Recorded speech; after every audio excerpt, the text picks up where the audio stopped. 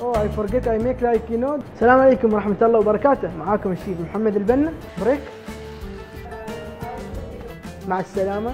هني عندي أول شيء مثل ما تشوفون بناخذ دياي الإسلامي أو دجاج الصدور.